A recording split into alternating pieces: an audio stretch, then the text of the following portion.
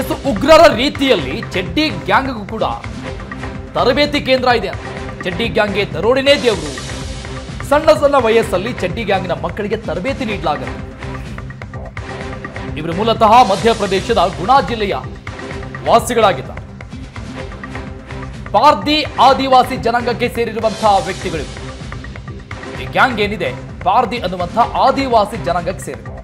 ಎರಡು ನೂರಕ್ಕೂ ಹೆಚ್ಚು ಮನೆಗಳ ಸದಸ್ಯರಿಗೆ ಕಳವು, ದರೋಡೆ ಮಾಡುವುದೇ ಇವರ ಕೆಲಸ ಕಾಯಕ ಆಗಿದೆ ಮಕ್ಕಳಿರುವಂತಹ ಸಮಯ ಅಂದ್ರೆ ಸಣ್ಣ ಸಣ್ಣ ಮಕ್ಕಳಿರುವಾಗ ಅವರಿಗೆ ಕಳ್ಳತನಕ್ಕೆ ತರಬೇತಿ ನೀಡಲಾಗುತ್ತೆ. ಕಳ್ಳತನಕ್ಕಾಗಿ ಮಕ್ಕಳಿಗೆ ಕಠಿಣವಾಗಿ ತರಬೇತಿ ನೀಡಲಾಗುತ್ತೆ.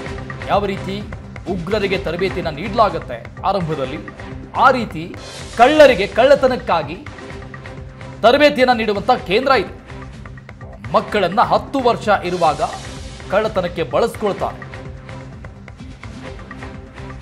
ಅವ್ರನ್ನ ರೆಡಿ ಮಾಡ್ತಾನೆ. ಕಳ್ಳತನವನ್ನ ಯಾವ ರೀತಿಯಾಗಿ ಮಾಡಬೇಕು, ಹೇಗೆ ಕನ್ನ ಹಾಕಬೇಕು ಅಂತ. ಎಲ್ಲ ರೀತಿಯ ತರಬೇತಿಗಳನ್ನು ಕೊಡ್ತಾನೆ. ಹತ್ತು ವರ್ಷ ಇರುವಾಗ ಅವರನ್ನ ಇವ್ರ ಜೊತೆ ಕರೆದುಕೊಂಡು ಹೋಗೋದು. ಈ ರೀತಿಯಾಗಿ ಕಳ್ಳತನ ಮಾಡಬೇಕು ಅಂತ ಅವರಿಗೆ ತೋರಿಸೋದು. ಈ ರೀತಿಯಾದಂಥ ತರಬೇತಿಯನ್ನು ನೀಡಲಾಗುತ್ತೆ.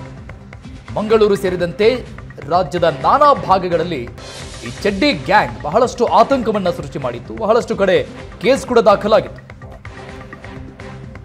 ಮಧ್ಯಪ್ರದೇಶದ ಗುಣಾ ಜಿಲ್ಲೆಯ ಚಡ್ಡಿ ಗ್ಯಾಂಗ್ ಇದು.